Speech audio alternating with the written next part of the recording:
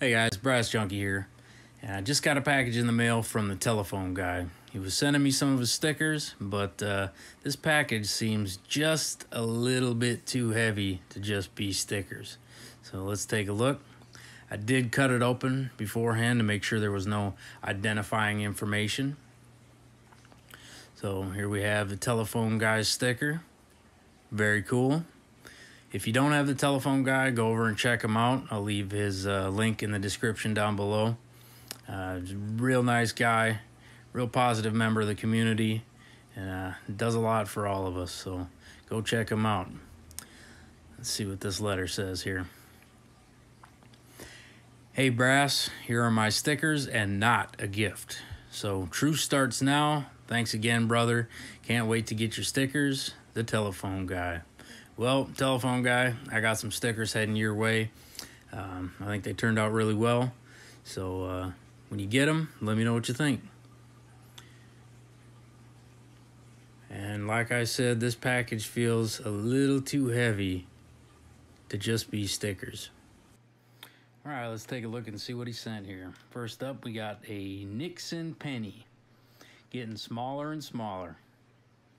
Like somebody was taking a shot at old uh, Tricky Dick there. Uh, that's pretty funny.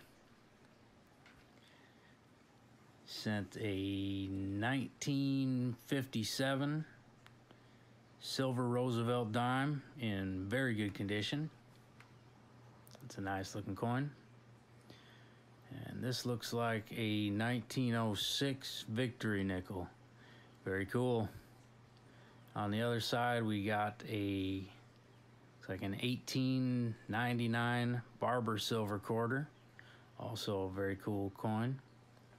Uh, 1964, 90% silver Kennedy half dollar in great condition.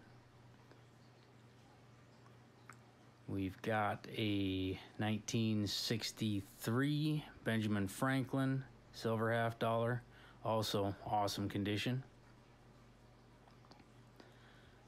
1944 Walking Liberty silver half dollar. Just a beautiful coin. And he also sent this O Mint Mark 1890 Morgan silver dollar.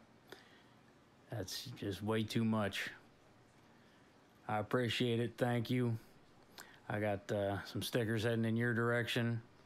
And uh, we called a truce, so if there's anything else in the package, it was a rogue postal employee. Go check him out.